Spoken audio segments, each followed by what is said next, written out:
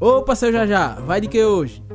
Eu quero aquele combo de sempre. Então, só pra confirmar, vai uma porção de inércia governamental, um X corrupção, molho de fake news. E pra beber eu quero um suco de sigilo no capricho. O mesmo para os meus filhos. É pra já. Seu Jajá, né? Mas toda semana ele pede a mesma coisa. Pois é, eu já não aguento mais esse combo. Este combo tem custado caro demais para o futuro da nossa gente.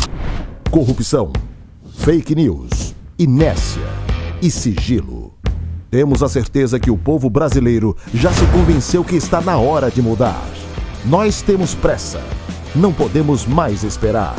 Chegou a hora de fazer sua escolha. Vote em Soraya para presidente do Brasil. Vote 44. E vamos juntos unir o nosso país.